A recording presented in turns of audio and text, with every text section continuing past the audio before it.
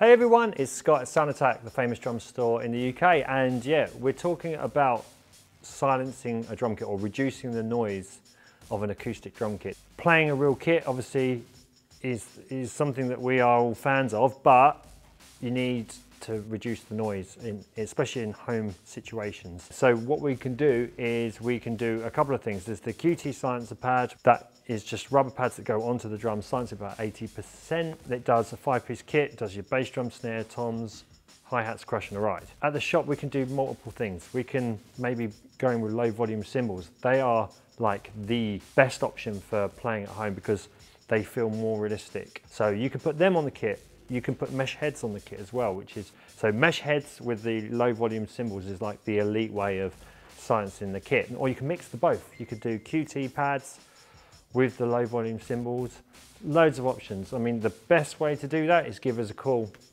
at the shop or come in and we can go through that, especially if you're buying an acoustic kit, we can work the packages that suits you however you want it. So that's the beauty of it. This is the acoustic kit as, as you get it. I'm just gonna play a little bit just so you can hear the volume of it.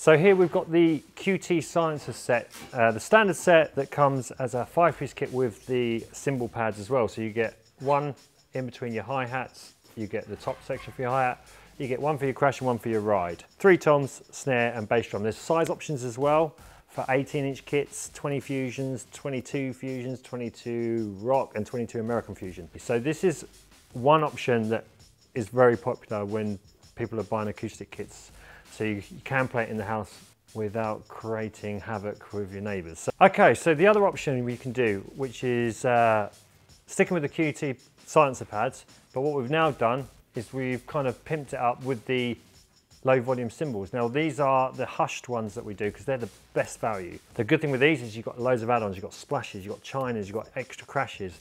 The standard set that as it comes is the 14 inch hat, 16 inch crash, 20 inch ride as a pre-packed set.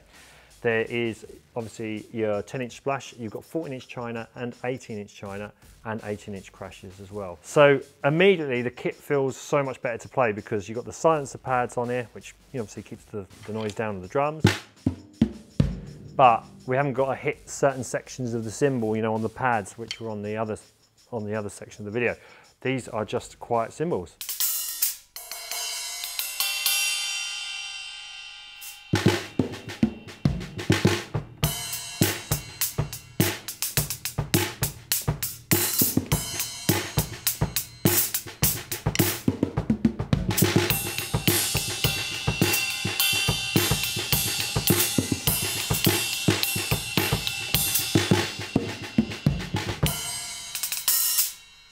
So yeah, this is a great option because you got the real cymbal, the feel of the real cymbals, just a lower volume. For home playing, that will cut all the frequencies going through walls and you know, it just uh, keeps, keeps everyone happy in the house. So good option with the pads and that. The next option would be, as I mentioned before, doing the mesh heads on the drums and then these cymbals. So here we go, here's the Silentstroke head. I mean, this is our branded one for the store, but yeah, you just have the normal Remo uh, logo at the top, so you don't have all this on the on the heads. But yeah, it's great. So you can put them on all the drums. They do bass drum, tom, snare, everything. They don't do a separate snare batter as opposed to a tom. It's just a 14 inch Silentstroke head, so that will work on snare and and tom.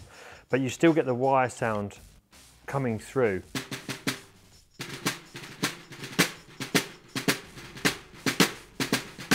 You can again take the wires off if you wish, but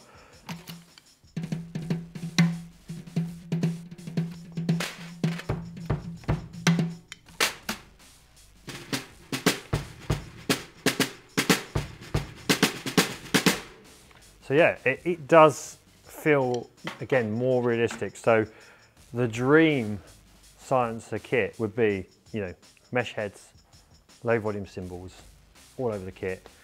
That's like the best. But there's certain ways you can do it, like yeah, as I say, QT pads and silencers like low volume cymbals, or just QT pads is just your, your basic option. So they're the three kind of key best things that we could suggest to keep the noise down on the kit. So that's basically our little tips for keeping the noise down on your on your drum kit over over the holidays. And uh, yeah, let us know what you think. Uh, comment below if you if there's any questions regarding anything to do with the drums or silencing or any problems you got, just uh, give us a call, drop us an email or comment below and we will get back to you as soon as we can. Thanks for watching and tuning in. Remember to subscribe, share it out to all your drummer friends and uh, yeah, thanks for watching and we'll all see you soon. Take care.